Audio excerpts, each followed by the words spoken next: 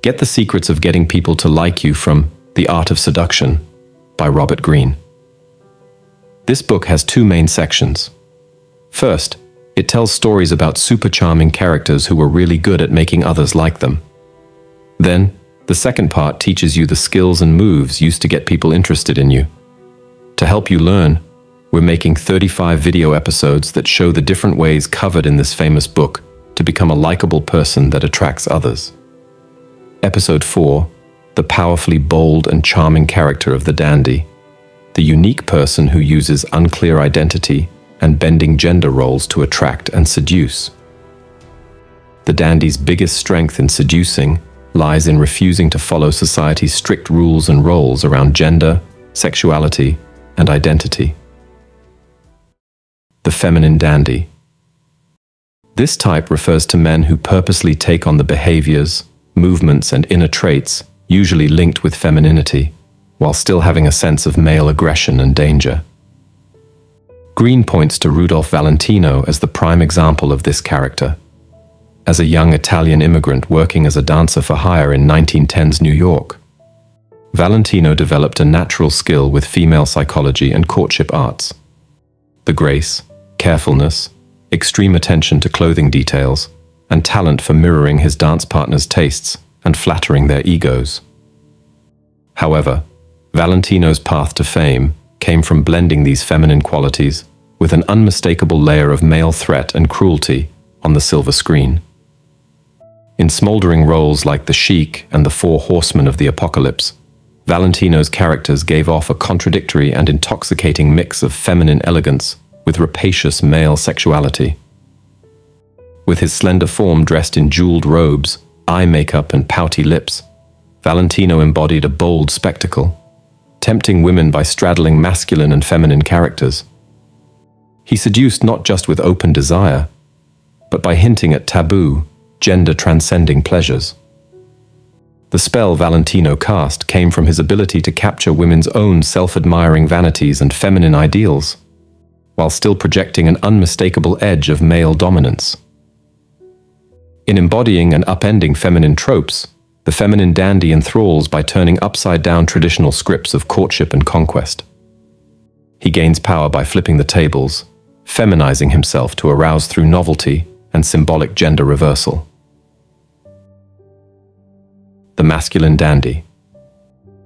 On the opposite side of the seductive range lies the masculine dandy, embodied by figures like Lou Andreas Salome, the brilliant Russian novelist and thinker who captivated a string of famous male thinkers like Nietzsche, Rilke, and others. Part of Salome's tantalizing appeal lay in her unique blend of male intellect, independence, and emotional distance, fused with undeniable female beauty and charm. Her uncompromising support of unconventional taboo views on gender roles and sexuality represented a direct challenge to the era's prescribed identities for women. Yet she retained an ethereal, delicate physique and aesthetic that still fit traditional male desires. This duality enabled her to disarm a succession of male pursuers precisely by hinting at their unconscious yearnings, while always remaining elusive and unattainable. Her deflection of commitment, fierce independence, and cerebral masculine persona seduced by stoking repressed male desires for role reversal and submission, while keeping her admirers perpetually off balance and entranced.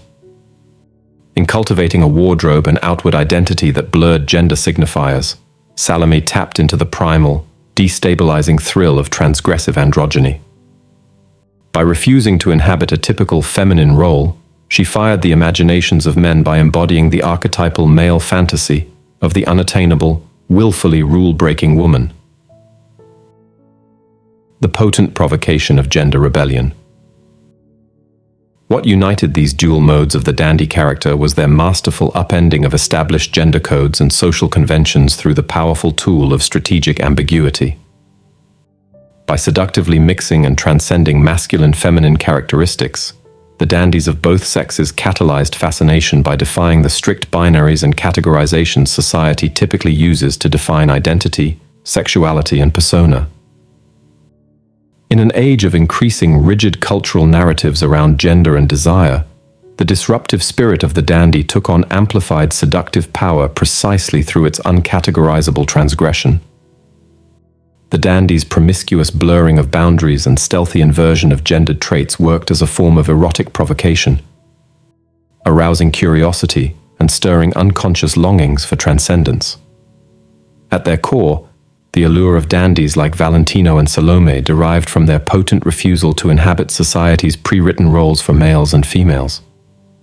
In crafting an ambiguous, self-fashioned identity that bridged traditional divides, they appealed to our repressed cravings for rebellion against conventions of identity, expression, and desire.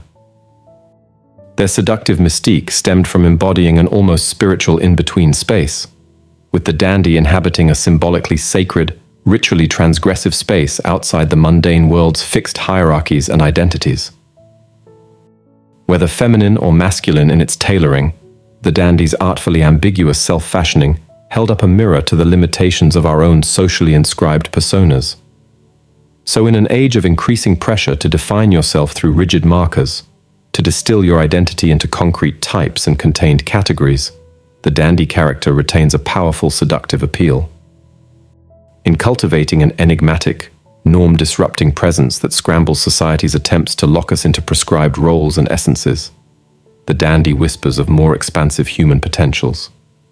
They dare us to embrace our own multiplicities, our own lurking ambiguities of gender and persona, to see ourselves as artfully self-created beings, rather than merely predetermined characters on a limited social stage.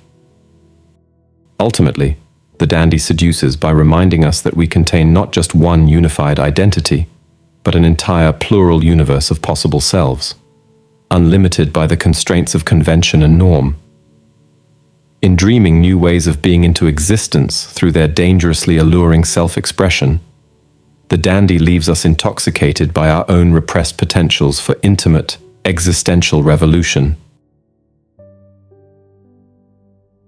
Now something important. Make it a daily habit to acquire valuable knowledge. Remember, what you consume mentally fuels your mind. Be deliberate about it. Otherwise, the algorithms are crafted to manipulate your thinking. Reflect on that. Also, we're now welcoming contributions through subscriptions to back our forthcoming projects and provide you with exceptional content. Join us by subscribing today